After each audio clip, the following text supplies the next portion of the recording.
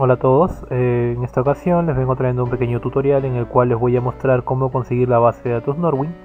Si te encuentras en la misma situación que yo, eh, realizando pruebas o aprendiendo cada día más acerca de programación, eh, Java, Visual Basic, C base de datos, MySQL, SQL Server, bueno, estarás en una situación parecida a la mía en la que necesitas hacer pruebas aprender cada día un poco más y para este para esta situación eh, la base de datos Norwin eh, nos presta mucha utilidad o es de mucha utilidad para nosotros los que estamos estudiando estos temas eh, de computación, informática, sistemas, etcétera.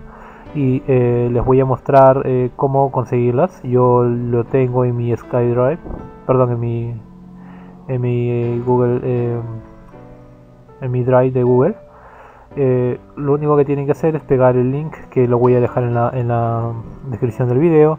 Y lo único que les eh, lo único que tendrán que hacer es ir a la dirección.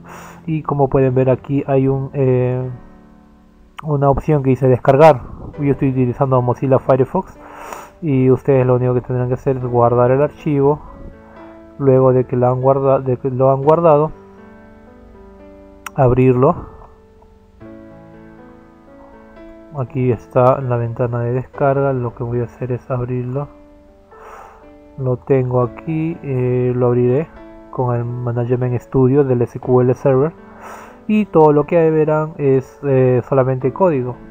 No, no van a ver acá bueno acá podemos ver ya la creación de la base de datos de las tablas las relaciones los inserts eh, etcétera etcétera.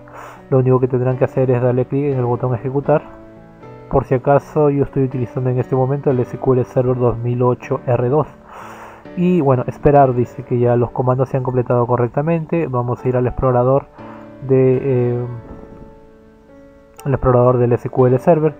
Si le damos aquí aquí en, base de datos base de datos de sistema no aparece bueno no se preocupen dale clic derecho y actualizar. Y podemos ver que aquí está el Norwin eh, bueno, las tablas como pueden ver ya se han creado todas eh, y bueno, vamos a crear un nuevo diagrama.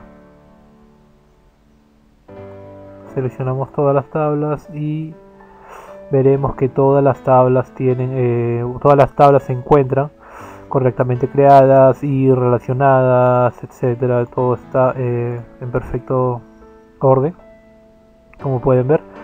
Eh, si realizamos una consulta eh, para poder ver si las tablas contienen datos eh, a ver qué tablas existen categorías seleccionamos F5